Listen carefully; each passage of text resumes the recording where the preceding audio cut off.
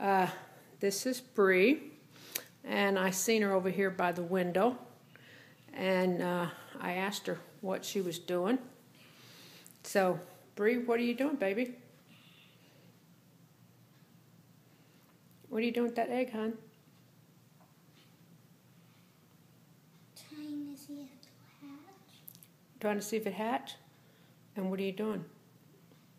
Keeping it warm. You're keeping it warm? So, is that a hear the heart beating. You're hearing a heartbeat?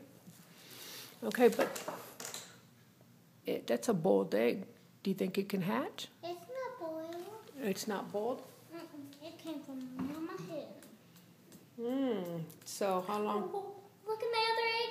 Look at my other egg. Okay, here I got it. I got it. Okay, so you think that maybe the uh, a chicken will come out of there? Yeah. Okay, and you're okay. Yeah, I caught Bri over here in a corner, and uh, I seen she was hiding under something underneath her dress. I asked her what it was, and she said, "Shh, Grandma, be quiet. I'm trying to see if this egg will hatch." And right now she's breathing on it to keep it warm. Okay, we'll come back and find out, see what happened. Okay. All right, love you.